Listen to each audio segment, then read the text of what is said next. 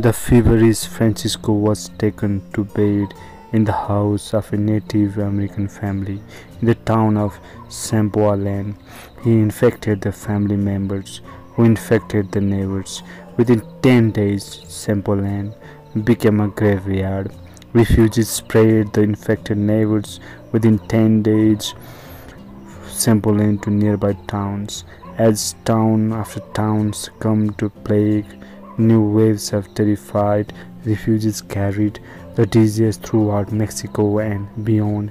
The Mayas in Yucatan Peninsula believed that three evil gods, Ekpetz, Uzannkak, and Sojakak, were flying from village to village at night, infecting people with the disease. The Aztecs blamed it on the gods Tezacat, Nipoca, and Sipe, or perhaps on the black magic of white people.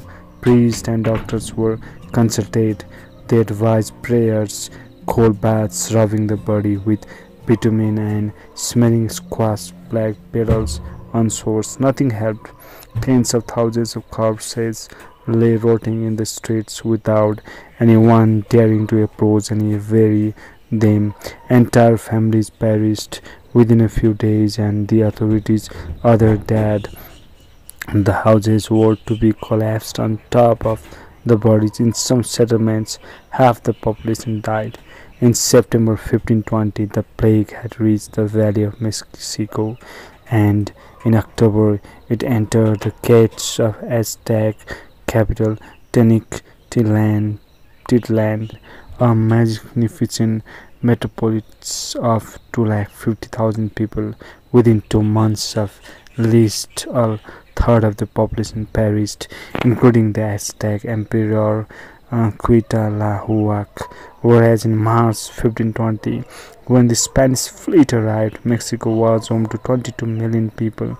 By December, only 14 million were still alive. Smallpox was only the first blow, while the new Spanish masters were busy enriching themselves and exploiting the natives. Deadly wave of flu, measles, and other infectious diseases struck Mexico one after the other until in 1580 its population was down to less than 2 million. Two centuries later, on 18 January 1778, the British explorer Captain James Cook reached Hawaii. The Hawaiian Islands were densely populated by half a million people who lived in complete isolation from both Europe and America and consequently had never been exposed to European and American diseases.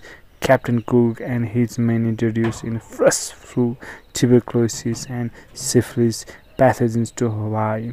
Subsequently, European visitors, typhoid, and, and smallpox. By 1853, only 70,000 survivors remained in Hawaii. Epidemics continued to kill tens of millions of people well into the 20th century. In January 1918, soldiers in the trenches of northern France began dying in their thousands from a particularly virulent strain of flu nicknamed the Spanish flu.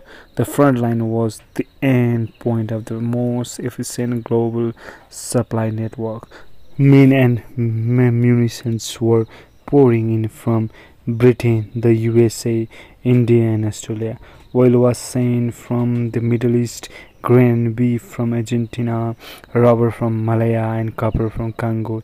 In exchange, they all got Spanish flu. Within a few months, about half a billion people, a third of global populations, came down with the virus. In India, it killed 5% of population, that is 15 million people. And the island of Tahiti, 14% died, and Samoa, 20%. In the copper mines of Congo, one out of five laborers perished. Altogether, the pandemic killed between 50 million and 100 million people in less than a year. The First World War killed 40 million from 1914 to 19.